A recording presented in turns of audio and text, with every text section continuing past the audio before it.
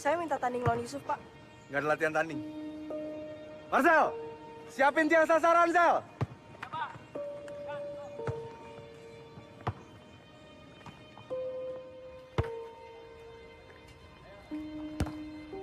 Itu katanya tuh, berarti dia yang paling jago.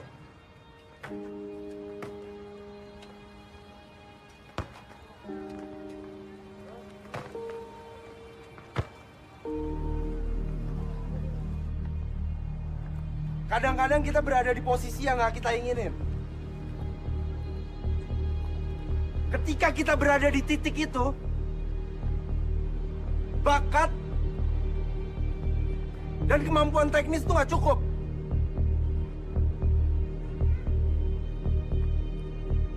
Mental.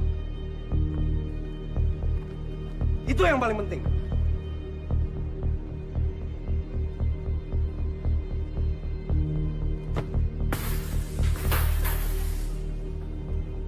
Jangan biarkan hal-hal lain mengganggu konsentrasi kalian.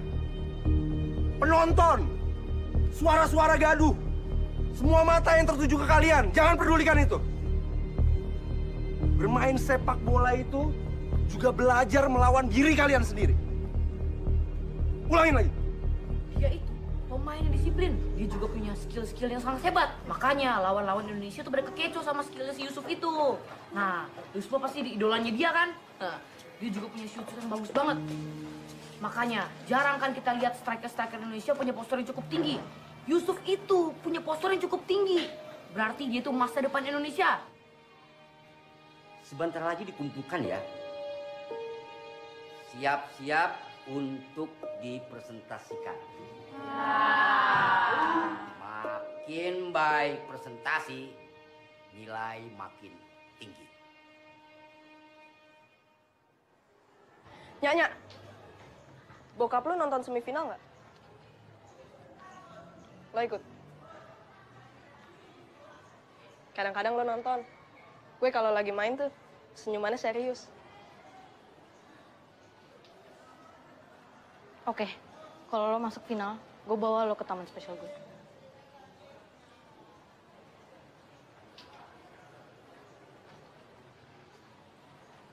Pertahanan mereka sangat solid. Baru kebobolan satu selama turnamen. Serangan tajam. 10 gol udah dicetak. Untuk mengantisipasi 4-3-3 lawan, saya akan menambahkan pemain gelandang di lapangan bagian tengah. Dan akan ada koreksi di barisan depan. Maksudnya, Pak? Salah satu antara kalian bertiga ada yang nggak turun dulu.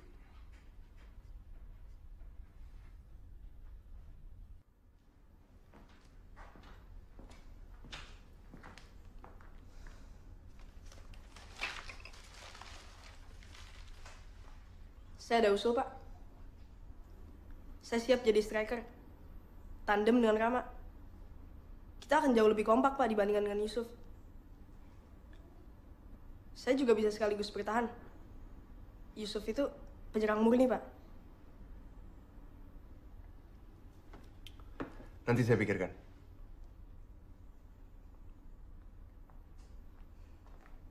Ini pasti ada menunya yang bisa diatur nih. Coba. Iya, Belum, belum gambarnya ada. Ini bagus. nih? Coba, Coba lihat deh.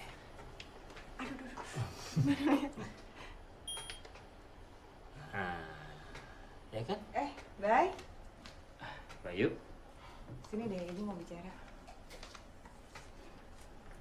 Em, kamu tahu kan ibu mau buka kantor cabang yang di Semarang? Ibu udah nggak pernah cerita. Sama Om Rudi kali ceritanya. Em, ternyata ada masalah, Bay. Jadi ada sengketa di tanah yang ibu beli buat kantor. Ibu harus ke sana, Bay. Soalnya sampai masuk pengadilan. Besok pas semifinal. Tapi besok ibu nonton dari TV kok, ya?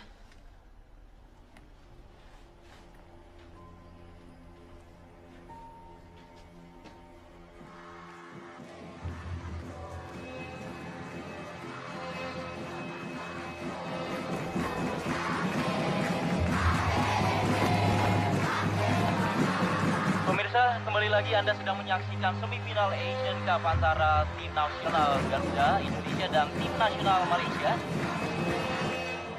Kalian ingat mental. Mental, fokus, dan disiplin.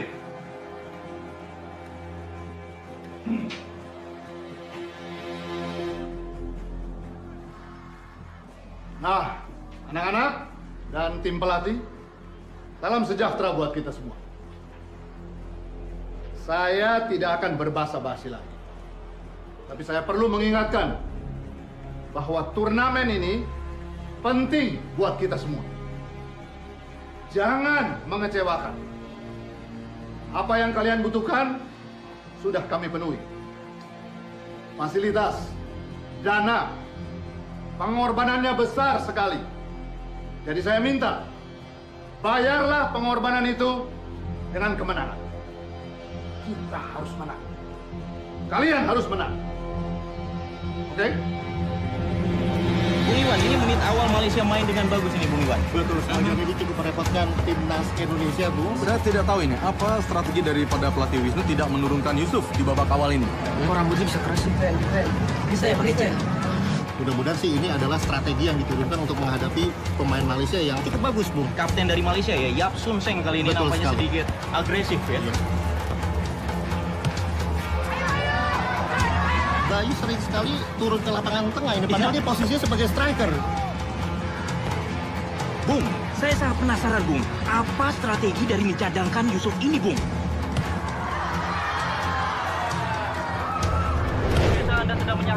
Pertandingan sepak bola antara tim nasional Indonesia melawan tim nasional Malaysia dan saat ini sudah memasuki babak kedua ya Bung ya. Walaupun cuaca mendung pertandingan harus terus berlangsung. Dan Bung, Bayu ini melakukan blunder nih Bung. Berbahaya, Bung, berbahaya, Bung. Yapsum saya sedang berlari dan dia menembak ke gawang kita. Bukan.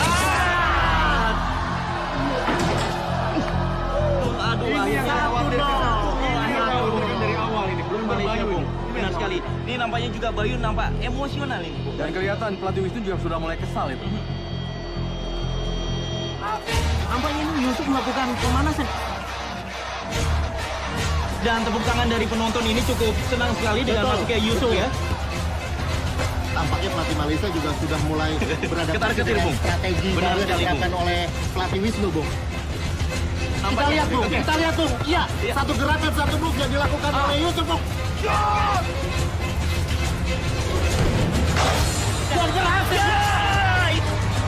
Menjadi satu-satu, Bung. Satu-satu baik untuk Indonesia.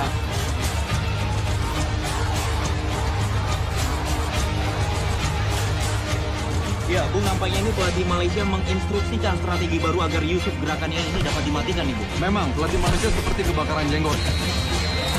Dan terlihat dua pemain Indonesia ini cedera dan harus digantikan. Karena tempo permainan semakin tinggi dan semakin keras ini. Dan sayang sekali, Bayu malah asik bermain sendiri sudah tempo sepanas ini, Bung. Ini yang salah, ini yang salah. Ini, ini mengulangan blunder dari bayi sebelumnya. Ini.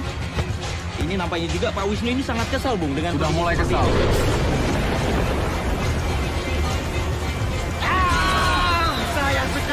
Ya tackle, Bung. Kita lihat. Apakah wasit memberikan penalti kepada timnas Indonesia? Ternyata wasit tidak memberikan penalti terhadap timnas Indonesia, Bung.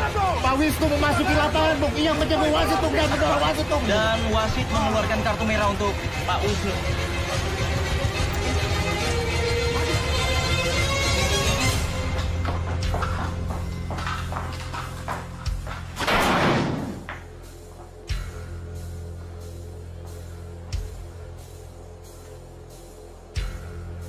Pemirsa, semifinal ini harus masuk drama adu penalti dan Bayu, kapten kita, akan menentukan plot pertama.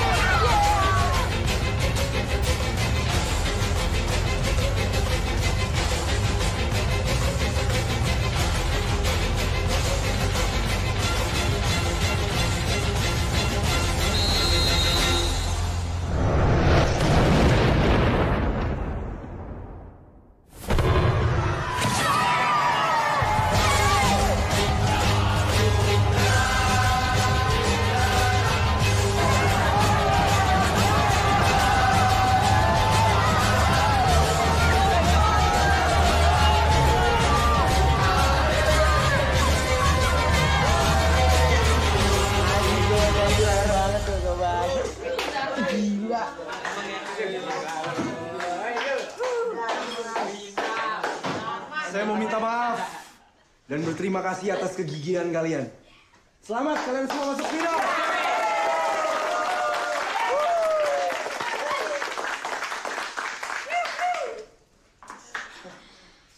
Di final nanti kapten tim kita Rama.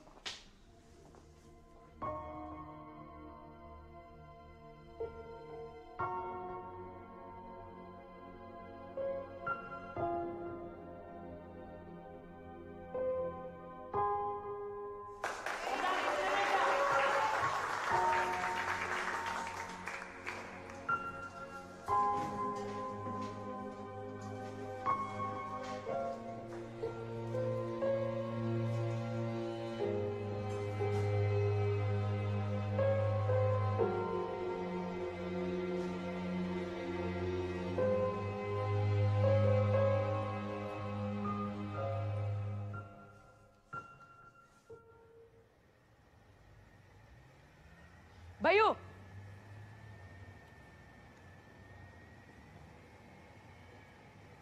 Bay! Pasti lu kan yang bikin Yusuf dicadangin. Untung kita masuk final, Bay. Gue capek, Her. Ya udah nggak penting kan? Ini penting, Bay, buat gua. Lu jadi nggak sportif. Siapa yang nggak sportif sih? Gue tahu, Bay. Lu tuh ngiri sama Yusuf. Lu tuh kapten, Bay. Dan mestinya, lu itu nggak kayak gitu, Bay. Gue udah bukan kapten. Puas lu sekarang. Nggak apa-apa. Lo masih ada Yusuf kan? Buat lo tuh yang penting sepak bola, Her. Yang lebih jago. Yang bisa ngewakilin mimpi lu di lapangan. Bukan temen.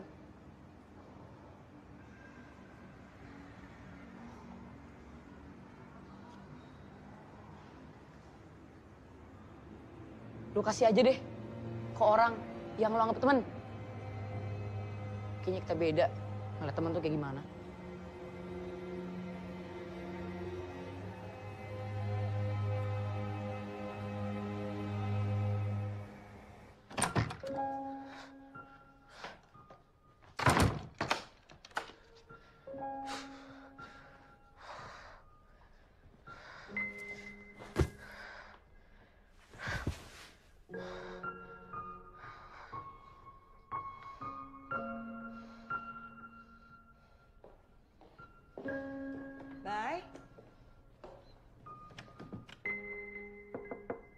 Bye. Aku nggak mau diganggu.